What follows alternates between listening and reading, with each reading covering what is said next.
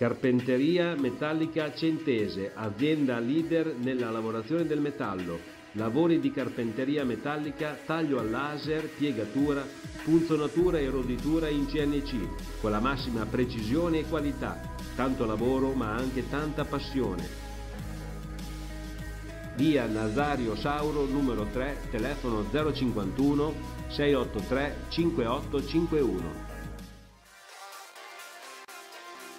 Impresa Merighi 100, opere d'urbanizzazione,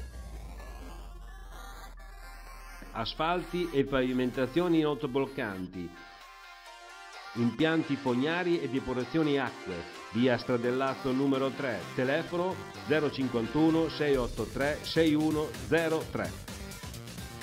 Merighi, tanta passione per il lavoro sempre a canestro. Studio Fava, commercialisti e avvocati. A 100 in via della Canapa 54.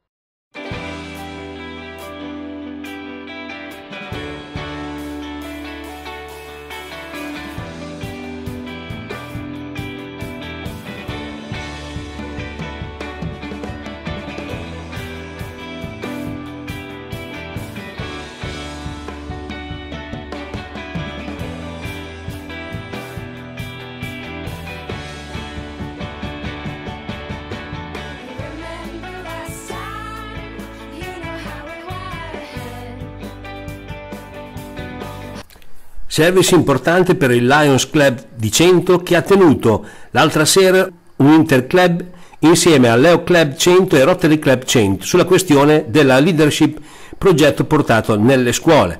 100 2 giugno 2018 di Marco Raboni per TC100 Web TV. Si è parlato di leadership in un incontro promosso dal Lions Club di 100, presidente Corrado Martin, dal Rotary Club e dal Leo Club di Cento, quest'ultima presidente Stefania Sasso. Stefania Sasso da un po' di tempo porta nelle scuole il messaggio della leadership per spiegare ai ragazzi che stanno guardando al mondo del lavoro cosa significa essere un leader nel proprio campo d'azione. Alla serata hanno preso parte il giornalista Alberto Lazzarini del Rotary Club di Cento, il presidente del Rotarac Fulvio Vallarini e il vicepresidente del Rotary Club di Cento Durim Cilnaku.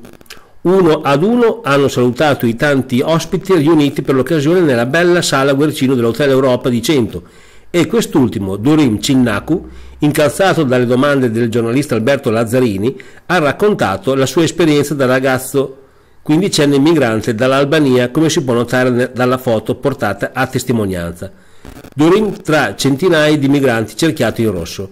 Un'intervista da cui abbiamo tratto degli spunti utilizzati nella nostra esclusiva chiacchierata a cura di Marco Rabboni con Cinnaku. Siamo qui all'Hotel Europa al termine di una convention, fra virgolette, tra, eh, Rotary Club e Lions Club. Si è parlato di impresa, si è parlato di leadership con gli imprenditori eh, locali, specialmente con la relazione stata tenuta da Durim, un, impre- un imprenditore di Cento, eh, così, un imprenditore che ha iniziato proprio dalla gavetta con i pantaloncini corti diciamo e adesso è arrivato a condurre una importante azienda per il trattamento del Fare l'imprenditore oggi, come sempre, è stato molto difficile. Per quanto riguarda il settore della manutenzione degli impianti, eh, il settore è soggetto a un inasprimento della normativa notevole, per cui eh, le piccole realtà piuttosto che gli artigiani singoli non sono più nella condizione di poter far bene questo tipo di attività. Di qui nasce la necessità di fare un'azienda strutturata e per poter mettere in piedi un'azienda strutturata si richiedono investimenti, si richiede professionalità, si richiede formazione e il mio progetto è eh, conseguire questo tipo di risultati. L'imprenditoria locale è divisa in due gruppi, ci sono degli imprenditori che hanno una visione di lungo periodo, che hanno dei progetti che stanno riuscendo, stanno crescendo e ci sono molti imprenditori purtroppo che hanno una visione molto ridimensionata. Eh, ovviamente sappiamo benissimo che in una realtà come questa diciamo, la pressione fiscale è quella che è e quando un'azienda rimane aperta soltanto perché non può chiudere, perché non riesce a pagare i debiti, quella è un'azienda che non ha futuro. Alcuni imprenditori fanno parte a questa categoria purtroppo.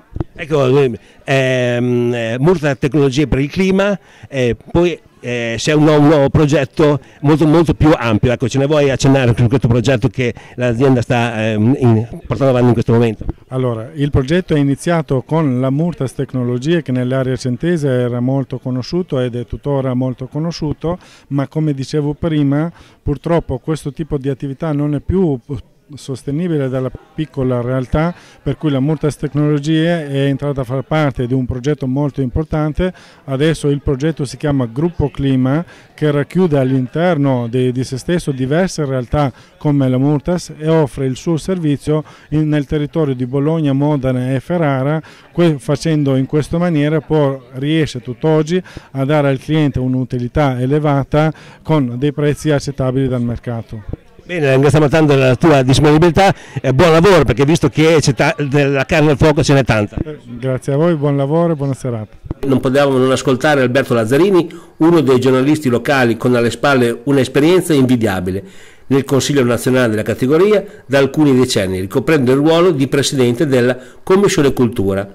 Sì, ma io partirei proprio dall'intervista a Dorim Cilnaku che è un esempio, un grande esempio di imprenditore e di soprattutto ha una storia alle spalle incredibile, quindi a 15 anni era sulla famosa nave che i più anziani forse ricorderanno che approdò a, a Brindisi dall'Albania, lui era ed è albanese appunto e poi dopo ha fatto tutta una carriera di studi e poi dopo è diventato un imprenditore. Ecco, però alla base di tutto questo ci sta eh, le capacità certamente di questa, di questa persona e ci sta anche una, una volontà da parte di eh, alcune persone che lo hanno incontrato in questo cammino di essere inclusive, di essere eh, capaci di dargli eh, gli strumenti eh, diciamo per una vita eh, in- che, che sarebbe e avrebbe potuto diventare importante, cosa che poi è accaduta. Ecco, allora eh, in tutto questo Durim Cilnaku è un imprenditore che ha, espresso una grande capacità di leadership e la leadership è stato proprio il tema di questo incontro. Leadership, io credo che ci sia un grande bisogno di leadership e di leader e di leadership in questo periodo a tutti i livelli, perché a livello nazionale, internazionale, ma anche naturalmente a livello locale. La verità è che eh, i leader devono eh, esistere in ogni settore, ad ogni, ad ogni livello e per far questo certo alcuno, eh, per alcuni la capacità è innata ma per altri eh, si può eh, certamente formare un leader. Ecco qui questo, eh, per questo credo che le agenzie formative dalla scuola ma non solo la scuola credo debbano ancora fare molto, c'è molto molto da fare perché proprio attraverso la capacità di queste persone che è un mix di competenze e di qualità si riesce a trovare quella strada giusta che anche in termini etici passa attraverso il discernimento che se noi oggi andiamo a guardare è sempre è molto più difficile che il grande imprenditore oggi in queste condizioni nasca eh, dal, dal nulla senza una preparazione. Lui ha dietro questa preparazione però come dicevi giustamente tu ha dietro quella capacità, quell'intuizione innata propria dei grandi, eh, dei grandi personaggi della- del centese e non solo del centese e quindi eh, eh, diciamo mutuata ai giorni nostri questa capacità ha poi portato dei risultati che sono importanti. L'impresa ha e deve avere sempre anche questo carattere, per far questo occorrono tante, eh, tante condizioni, tante qualità, non ultimo il fatto che tutti i eh, dipendenti devono essere inclusi in questo progetto, motivati e tutti quanti devono guardare, devono rimanere parte- da una stessa parte, dalla parte giusta. Bene, grazie dottor Lazzarini della sua disponibilità e a questo punto eh, buon lavoro, visto che anche come giornalista ce n'è tanto da fare eh, in, questi- in questo periodo. Ce n'è parecchio da fare, questo indubbiamente, ma insomma adesso anche per quanto riguarda eh, diciamo, i discorsi che ho, che ho appena accennato sull'etica e la deontologia, l'ordine sta facendo mm, credo molto, soprattutto in termini di formazione per i colleghi, però non è eh, il problema è Ricordiamo che fai parte anche del Consiglio nazionale dei giornalisti. Sì, sì. E, ma voglio dire, eh, il problema non è solo quello della formazione, ma oggi veramente è molto più grande perché il web ha i problemi che ha, le fake news sono purtroppo all'ordine del giorno, pensiamo al- alla cosa eh, alla scoperta proprio di questi giorni del- della rete che, eh, in un che- che in termini molto concreti ha condizionato in senso negativo sia le elezioni americane che addirittura il referendum sulla Brexit. Ecco, questo deve fare veramente riflettere e, eh, perché eh, sono situazioni veramente eh, talmente grandi, talmente al di sopra di noi che condizionano eh, il- non solo le- il pensiero e il giudizio delle persone, ma condizionano anche la storia stessa, perché fanno cambiare gli eventi del, del mondo. E questo, ripeto, impone una grande riflessione. Chiudiamo con Stefania Sasso, presidente del Leo Club di Cento. Lei che ha voluto l'esperienza nelle scuole con una collaborazione d'eccezione, il noto imprenditore centese dottor Riccardo Fava, amministratore delegato di Baltur Spa. Sentiamo ora Stefania, quindi noi amici vi salutiamo qui. Un grazie caloroso al Lions Club per l'attenzione alla nostra testata di informazione. Ciao ciao! Esatto. Ho parlato oggi del, pro- del progetto Leo for Leadership, un progetto che abbiamo portato all'Istituto Basti Burgatti allo scopo proprio di fornire ai ragazzi degli elementi di leadership, cioè fargli capire cosa vuol dire essere un leader, come si diventa e quali sono le doti fondamentali da sviluppare per poterlo diventare. Ecco Stefania, questo è un percorso che voi come Lions Club state percorrendo, è una serie di incontri proprio per parlare ai giovani di, non solamente di, di leadership ma anche di impresa. Esattamente, il primo incontro è- si è tenuto lo scorso 30 gennaio in cui è intervenuto il dottor Fava, quindi un leader famoso sul territorio, per parlare proprio ai ragazzi di che cosa vuol dire essere un leader.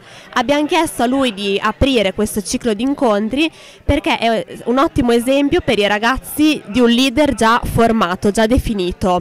E poi gli altri incontri saranno invece tenuti da dei ragazzi perché il messaggio che vogliamo far passare è che leader non è che si nasce ma lo si può diventare con un percorso di crescita personale. Quindi i ragazzi che insegnano ai ragazzi, abbiamo capito bene? Esattamente, l'intento è proprio quello, ci siamo messi in gioco noi ragazzi dell'Eo Club e abbiamo portato la nostra esperienza di leadership nelle scuole sperando di trasmettergli proprio questo messaggio. Stefania, chiudiamo questa eh, bellissima intervista, abbiamo parlato di cose importanti per i giovani, con una curiosità. Noi pensiamo che Leo sia l'abbreviazione di Lions. Non è così, vero Stefania? Esattamente, Leo in realtà è un acronimo che significa Leadership Experience Opportunity, che è un po' quello che, dà, che, fa, che è- vuol dire essere Leo. Leo significa sviluppare le doti di leader guidando un club, avere l'opportunità di mettersi in gioco, quindi di farlo e maturare l'esperienza. Tutto questo facendo dei servizi per la comunità. Quindi questo per chiudere Stefania è, è un messaggio ai giovani che ce la possono fare, basta solamente essere determinati. Esatto, è un messaggio che tutti i ragazzi mettendosi in gioco possono diventare leader e possono farlo seguendo un percorso di crescita personale. Quindi non arrendetevi e andate avanti con i vostri obiettivi. Molto bene Stefania, Eh, buon lavoro visto che tu sei molto attiva in questo campo per promuovere le iniziative dell'IOS, dell'IOS, no dell'IOS, Leo Club. Esattamente, grazie mille a te Marco.